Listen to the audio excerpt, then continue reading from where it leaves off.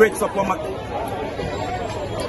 We are at the Great Soppo Market in Buea, located close to the Opportunity Industrialization Center, Cameroon OIC. A market that has increasingly been uh, criticized for its positioning because there's always been a risk of persons being killed in case an accident occurred.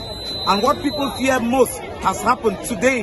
It is Wednesday, the 17th of July, 2024. In the early hours of this day, a private vehicle, which we see directly behind us, we cannot understand exactly what happened.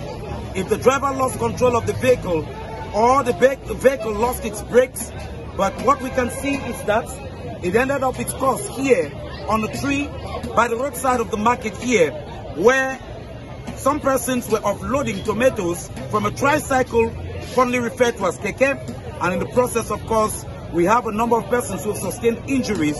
There are a total of seven persons, according to the inf information we've confirmed here, who've been rushed to the hospital. Three who were in the vehicle and four others who were standing by. And beside us are two persons who are lying dead. Two persons are confirmed to have died, while four, uh, seven are in the hospital right now, including the driver of the vehicle we see behind us.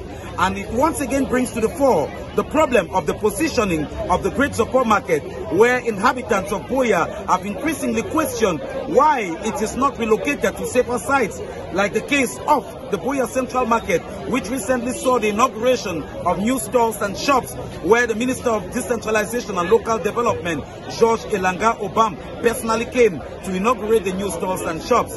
I think at this point in time the Buea Council, alongside other stakeholders in this municipality, will see the dire need for this market to be relocated from where it stands currently, where it poses a threat of many more persons dying.